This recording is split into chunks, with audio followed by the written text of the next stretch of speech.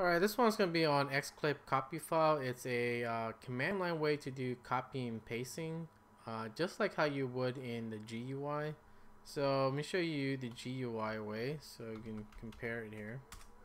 So normally when you have your GUI here, you know, you right click on something and you have the cut, copy, and, and all that.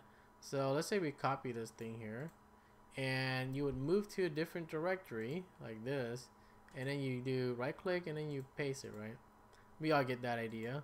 Now in the command line way you usually have to use like the cp command or the mv command to um, you know simulate copy and pasting. But this one is actually does it like the GUI way but in the command line way. So I'm giving you an example here. We'll list out a couple of files. And let's say we want to copy um, what is that? This um, Linux SC file here. How do we do that? We do uh, we use this program called Xclip, and um, it actually has this other um, you know that commands with it. So it has the copy files, it has the cut files, and the paste files. So we're gonna do a copy first, right? And if you want to copy the Linux, uh, was the SC file here, right? We'll copy it, and it copies it. So if you list it out again, um, you know you still have your you know your Linux here, right? But let's say we cd into our uh, download folder. And now all you gotta do is uh, type in, what was that, xclip uh, paste. And guess what it's gonna do? It's gonna paste that Linux file here. And now if we list this out, you see it has these Linux SC file. Um, so that's how you can do it. And it's a little bit different from the CP command and uh, was it the MV command because you don't actually have to type out uh, where is it going first? Um, you know in one line. So you have your source and your destination. You don't have to do that shit. Uh, this is how you assimilate that just like you do in the GUI right? So simple as that. Anyways let's go back to this here. Now it's the same thing with if you you know you select multiple files in the GUI if you want to do that here it's pretty much uh, the same thing I guess.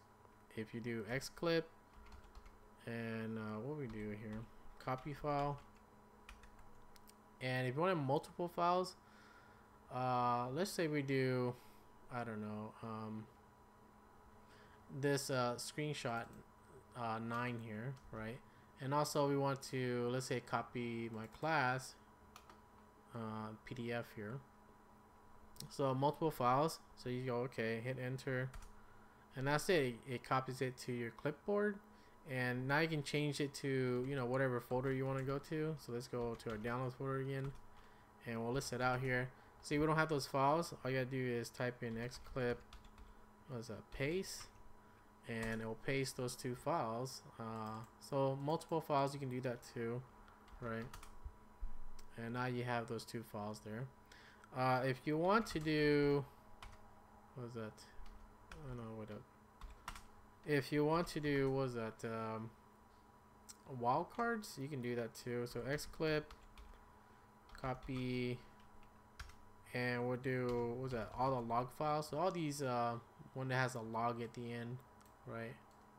You can do that. So you do all uh, was that a wildcard which is a star dot log and you hit enter and it's gonna copy it to your clipboard.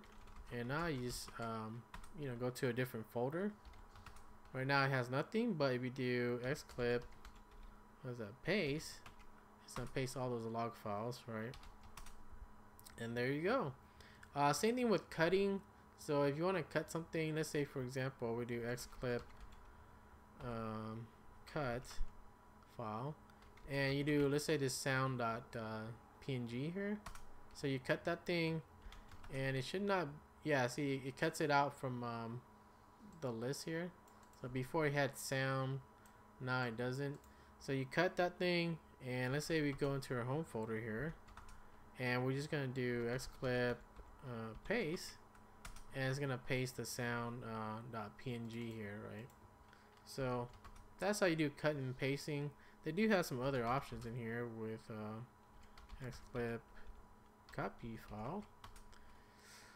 Uh, they do have this other one called a dash P for preserving information. Uh, anything else you can talk about? Oh yeah, you can do uh, folders. You know, folder structure, not just single files. You can do folders, and um, it'll copy it recursively and all that. So that's pretty much it for the program. Really, it's a little bit different from the uh, you know the the CP and the move command, which I talked about a long time ago. And it's also different from the xclip command alone, because xclip is only for uh, handling your clipboard manager, which is mainly like text files. Uh, not to be confused with, you know, xclip. Uh, well, let me show you the whole list here. Let me see here. The package is still called xclip though. If you go into your package manager, just search for xclip. However, it will include, um, you know, the original xclip. It also includes the copy file, cut uh, files, and paste files. So these are the three things we're just talking about for uh, this screencast only. This one I made a video a long time ago. If you want to watch how to, you know, manage clipboards uh, from the command line, you can do that. But anyways, that's uh, what I learned just like I think 30 minutes ago. I don't know by accident, but it's pretty cool if you want to do the GUI cutting and pasting, uh, you know, simulation from the command line. Um, so that's it for this one.